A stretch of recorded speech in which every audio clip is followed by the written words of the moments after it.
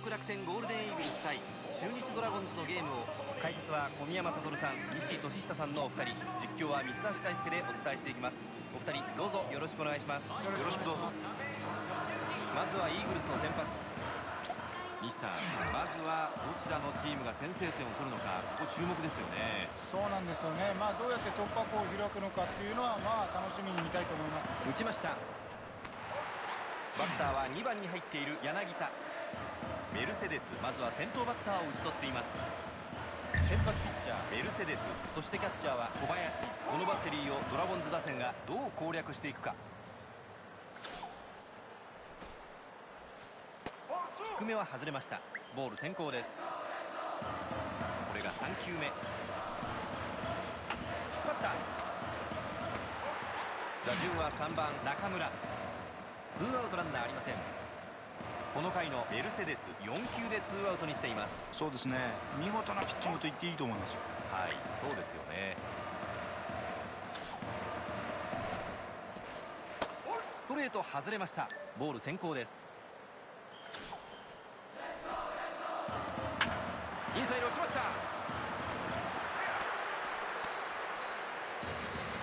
バッターボックスには指名打者の大谷。ヒットでランナーを一塁に置いています微妙なところを攻めてきます。ストライクです。ストライクを取ってこれで追い込んだ。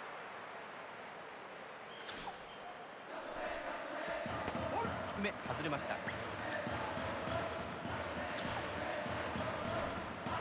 打ちました。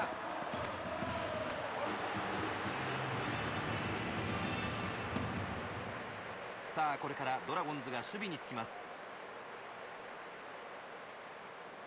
そして亀井が打席に入ります。相手を0点に抑えてこれから1回の裏に移ります。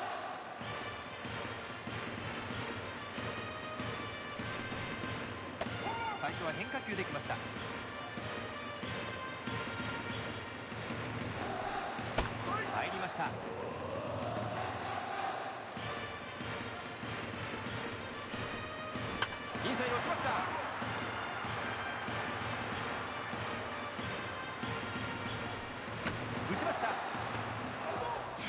DH 柳田。大野まずは先頭バッターを打ち取っています。初球空振りです。これが2球目。まあここは見送るかどうかの判断が重要ですね。なるほど。さあバッターは何を待っている？打ちました。打席には3番バッター坂本。ヒットでランナーを一塁に置いています。走ってきた。きっちりとる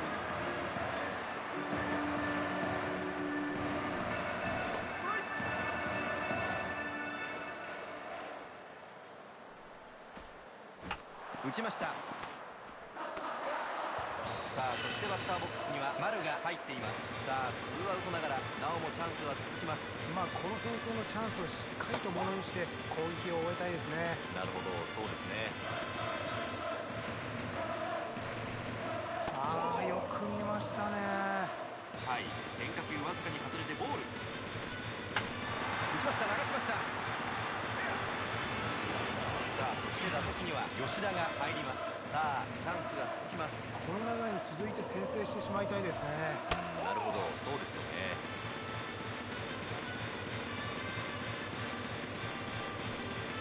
インコース低めストライク。151キロさあ3球目は何か。ランナーを警戒するあまり速い球が増えています。次が4球目。打ちました。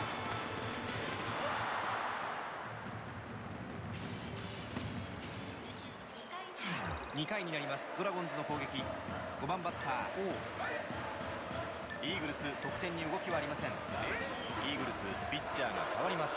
マウンド。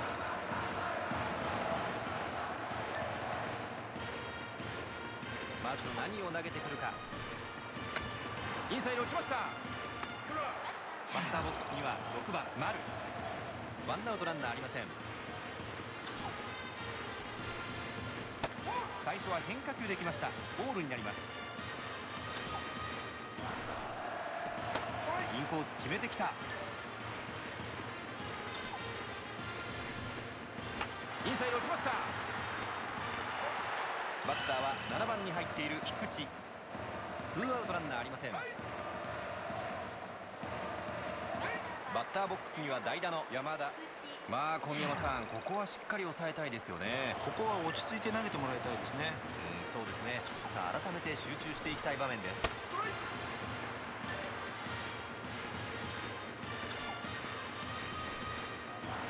インコース変化球決まりません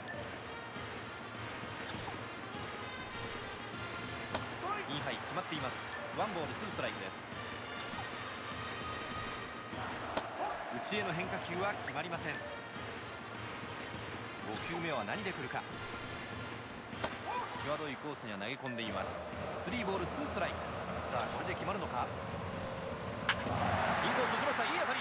弾き返した打球は左中間へ。さあそしてバッターボックスには吉田が入っています。うん怖いバッターが続きますね。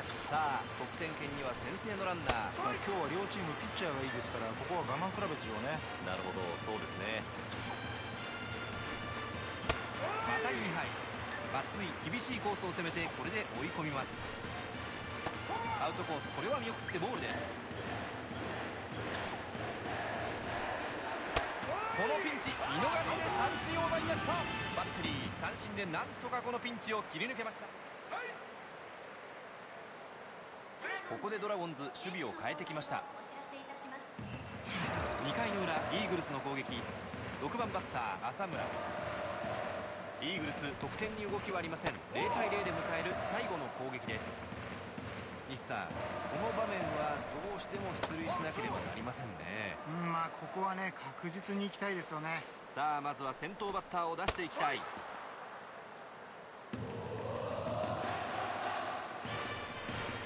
ー角度のあるクロスファイヤーいいですね。ツーストライクツーボールと追い込んでいます。ふわふわっと上がった。バッターは7番に入っている中村大野。まずは先頭バッターを打ち取っています。ストレート打った。8番バッター中田。ツーアウトランナーありません。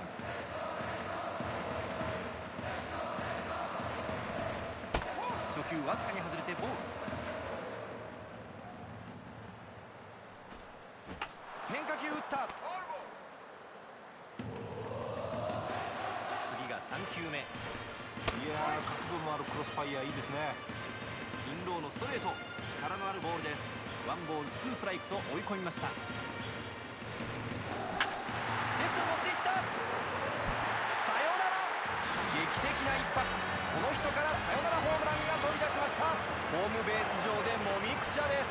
楽天イーグルスがなんと劇的なさよならで勝利。